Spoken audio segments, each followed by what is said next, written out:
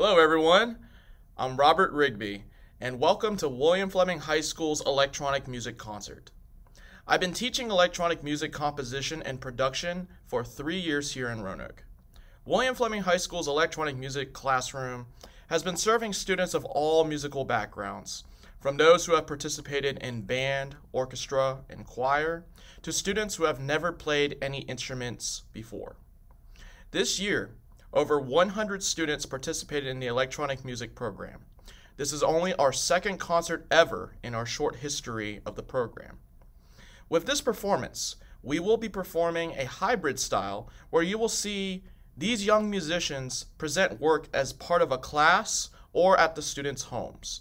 You will hear different genres composed and performed entirely by high school students. Most importantly, unlike a band, choir, or an orchestra concert, you may cheer at any time during the performance.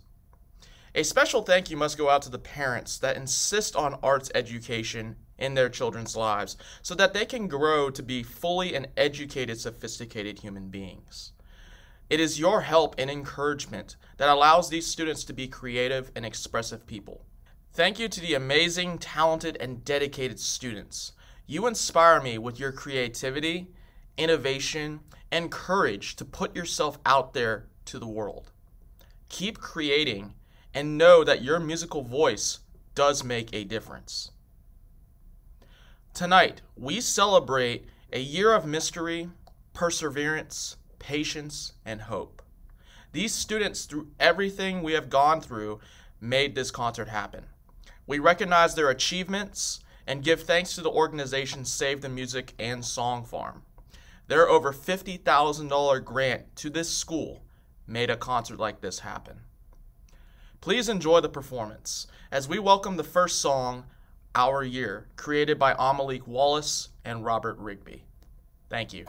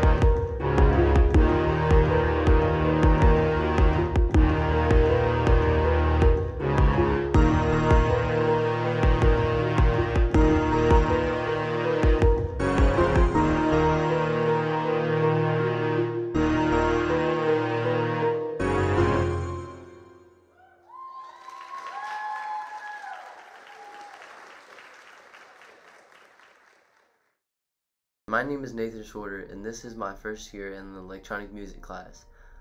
I made this to be a chill, relaxing, easygoing beat in the lo-fi style.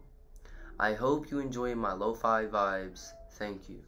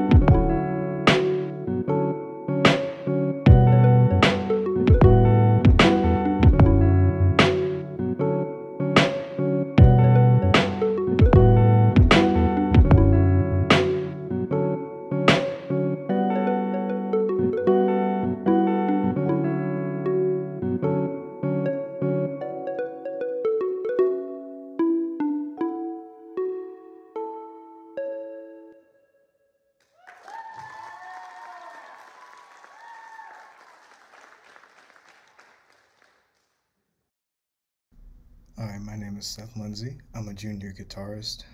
This whole year for me has been very tough. I haven't spent a single minute in the school building due to COVID keeping us all indoors. I wrote this song because uh, music is the best way for me to kind of like express how I'm feeling that day or that week or that month, really. this is Moody Blues.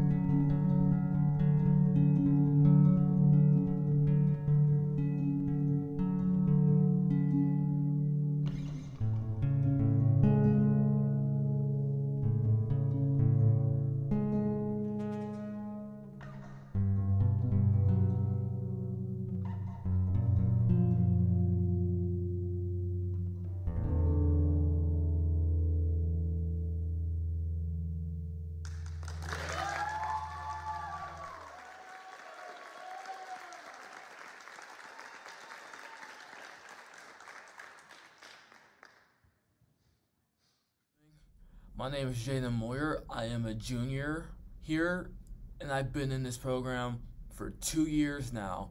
It has been a blast, especially this year with Save the Music coming in and giving us our equipment, and so many opportunities have come from that. First and foremost, I would like to kind of address just kind of the hardships that this year has given for all of us. We have definitely brought our A game and we've had to go outside of the box in so many ways. If there's one thing I've learned about these underclassmen and even my upperclassmen, like usual, is that we're pretty good about getting past many obstacles. Because no matter what, not even the whole pandemic will stop creativity from happening within Fleming students and especially students from this program. I will be playing my first song, which is called Not Fair. Is very Radiohead inspired, based off of the, a Radiohead song off of, I'm pretty sure it's their fourth LP. It's called How to Disappear Completely. It's a very melancholic song, and that's kind of the vibe that I give in this song. I use metaphors in the mountains and a lake as this man trying to find beauty in his lifetime and never finds it. Last song is I Am Legend. I Am Legend is the culmination of the excellence that I've been able to bring out this year. I love this song to death. It would not have been possible without Save the Music offering me my iPad to make good effects it's just an incredible song. And I can't wait for you all to hear it. It is my most upbeat song. Hopefully you like what I have cooking up.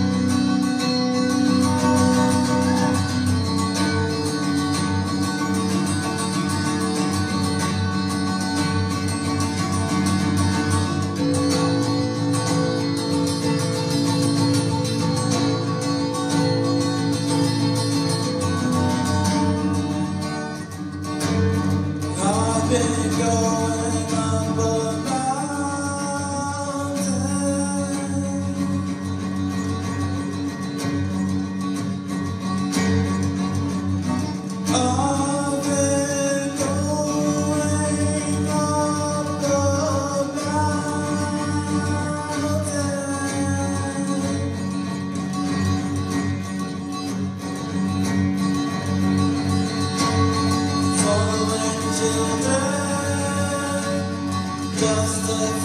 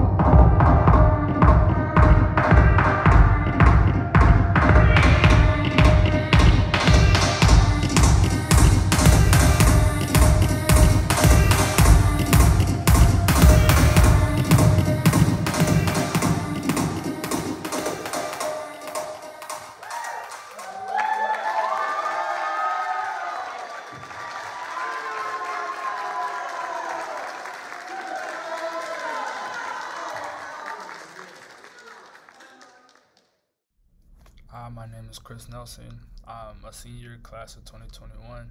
I'm gonna explain what my songs are. My first song, Compromise, I made this last year in December. December was a really hard time for me and my family. We was dealing with a couple things and it got to me mentally. So for me, music is a way for me to express that. Then my second one, I made a remix for SongFarm. Um, my family is originally from the country, so Galax, Virginia. So what I did, I tried to take a country song and transform it into a trap song because trap is what's mostly played in the city. So I just wanted to show a representation of what our transition was from the country to the city. So I hope y'all enjoy. Thank you.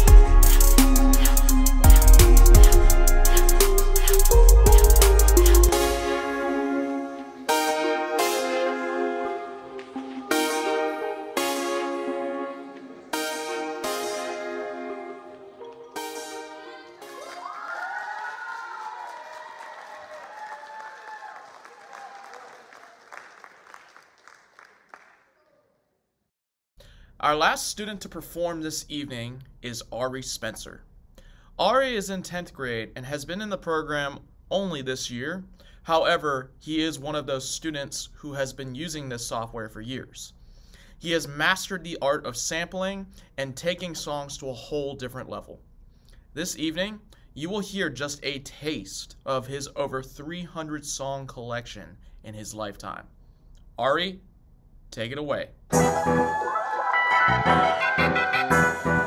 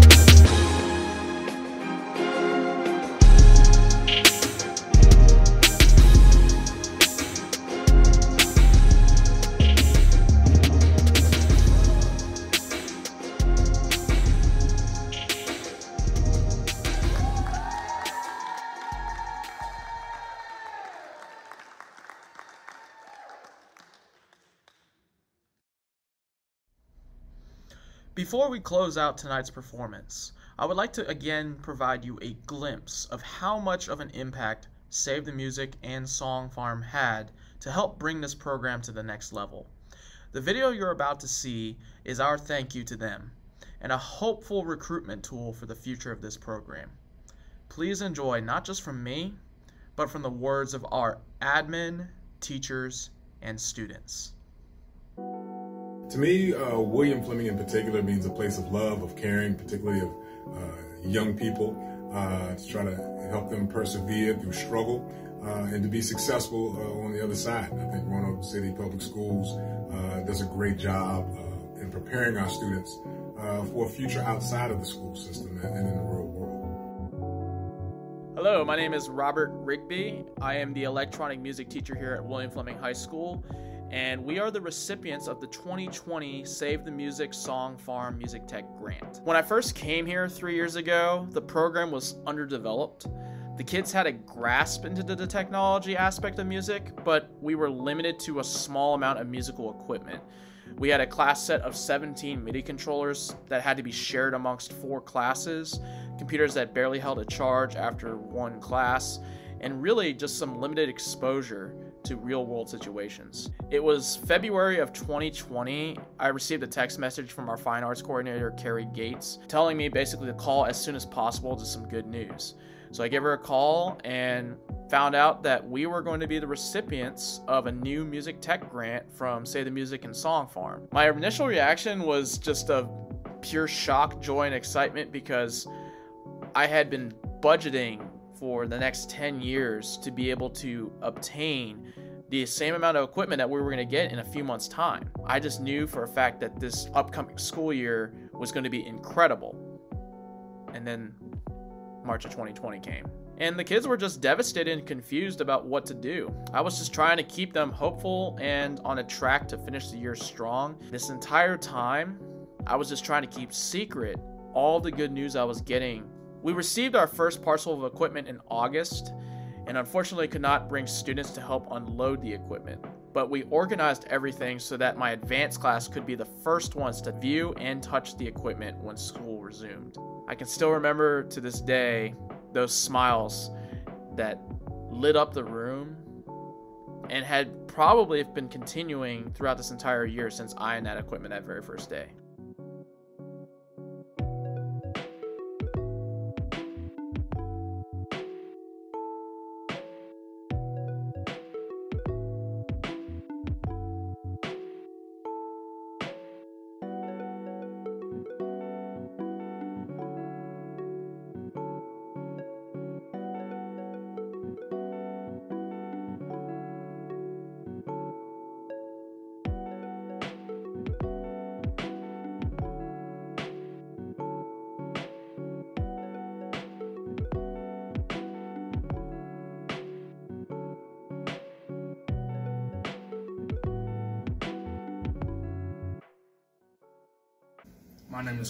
Nelson, and I'm in 12th grade. My name is Jaden Moyer, I'm in the 11th grade. I'm Malik Wallace, and I'm in 11th grade. Ari Spencer, I'm in the 10th grade. My name is Jackson Reed, and I'm in the 11th grade. Uh, my name is Kat McLean, and I am the choir director and electronic music teacher here at William Fleming High School. My name is Rayan Deskins, and I'm acting principal at William Fleming High School. I've been here since freshman year. Almost two years now freshman year? Basically six months. So this is my first year. Honestly, for a couple months, I was kind of just put in here out of nowhere.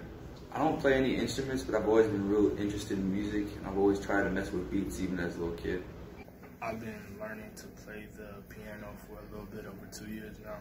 Since I was three, I've been playing the drums. Uh, I played a little bit of piano. I'm starting guitar now. My experience before this class was me going to Sunday playing instruments from my dad at church. Working with FL by myself in my room, so just making beats. I didn't really have no knowledge. I just knew music and just the songs and the artists, and that's about it.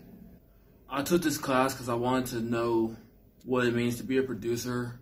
Because I wanted to learn how music works and the detail, every detail of it. Because I wanted to take music more seriously. So I can learn how to mix better with my music, efficient and clear. This class taught me a lot of things about mixing I didn't know. I didn't realize how important mixing was until this class. It taught me when to when to be serious about music and when to like just play around with it. Different genres of music. It's taught me so much. It's taught me how to make music, how to look at music rather from a person that listens to a person that creates. I've made a lot of rap music. I've been home and just making a bunch of beats and rapping over them and then deleting them and then do it again. That's my favorite kind of music.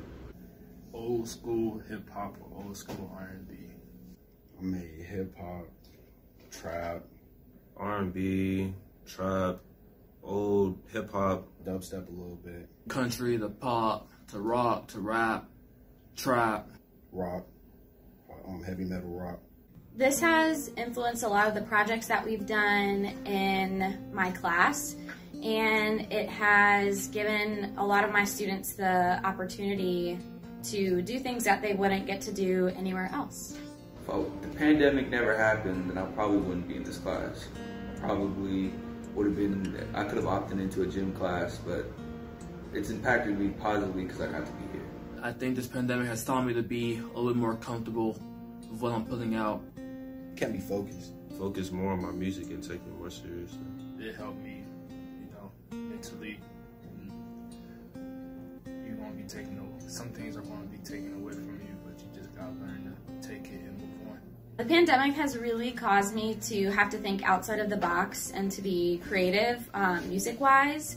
And it's also really kind of forced me to focus on creating those relationships with my students um, so that I can be a better teacher for them and be there for them in this time for them.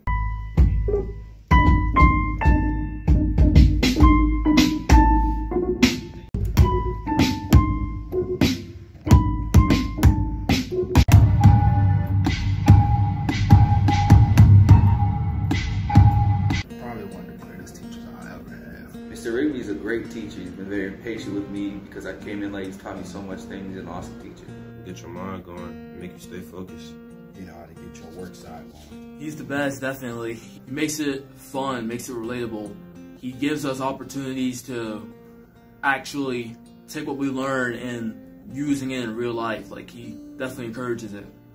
For me personally, uh, as a lover of music, a former DJ myself, and a, a dabbler in various instruments, uh, this grant means the world. Uh, to be able personally to come in here and you know play some of the instruments and play some of the equipment uh, has been uh, not only a stress reliever but also uh, an artistic outlet for myself. And you know, for our students, it, it, it, means the world to be able to come in here and see them practicing their craft. You know, not roaming the halls, but to come in here and excited about coming in here, even during the pandemic. Uh, students have been coming in to try to play with the, the equipment, to, to make their own music, and to express themselves artistically. Uh, it, it, helps them get through this, this tough time that we're going through right now. I think what this grant means to me was when we met Ross and Nicole for the first time on Zoom in September. Everybody in Roanoke, wow, Fleming, this is amazing, guys.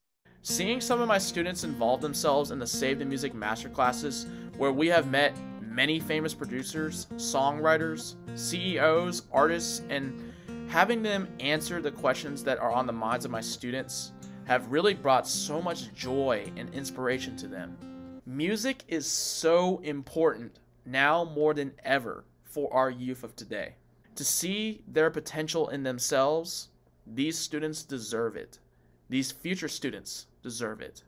It's so important because, again, it provides that artistic expression uh, that outlet for them. And it also helps them to connect, I think, to their core subjects uh, as well. Um, if they're feeling excited about coming to music class and they learn something in music, they can translate that in, in, into a math class as well as to a social studies class and definitely an English class uh, as it relates to lyrics and poetry and, and word choice and wordplay. Our students deserve the highest quality music education that we can provide for them so that they can reach their highest potential. Have fun with it take it serious when it needs to be serious, but overall have fun with it. Learn as many instruments as you can. Never stop learning music. Never stop picking up instruments, trying it, playing around with it. The more instruments you know, the better producer you'll be, in my opinion. If something don't go right, move on to the next thing. And don't ever give up just because something didn't go right the first time. Always give it another try. Stay focused, stay on your grind. Don't give up. You know what I'm saying? Be yourself. Don't try to be anybody else. Create. Be you. Start pursuing um, music right away, whether you want to sing or play an instrument or be a producer, create music. Um, you need to get started as soon as possible. And with that, that goes with taking classes or uh, taking lessons right away as soon as possible. It's never too soon because um, you don't want to look back one day and wish that you had done it differently. Don't be afraid to make mistakes. Uh, you're constantly learning uh, in, in, music. You're constantly improving. Um, and so don't be scared to make mistakes. Don't be scared to stand out. Uh, and also be supportive. If you're with a group of friends and you all are playing music and somebody messes up, be supportive and encouraging uh, of that process because it's in the mistakes sometimes that we make our, our best creations. Thank you, Save the Music and Song Farm. God bless y'all and love y'all.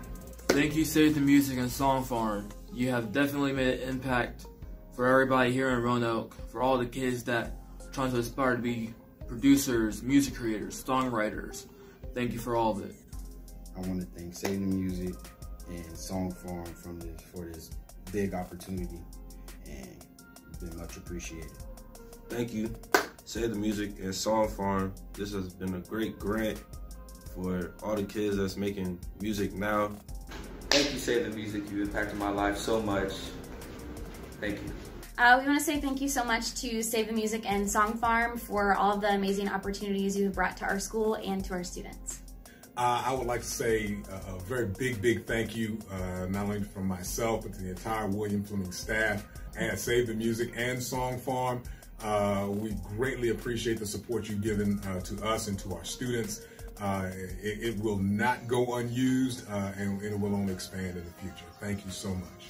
Save the Music and SongFarm, you have brought such a powerful light to my students and I that I know will never stop shining.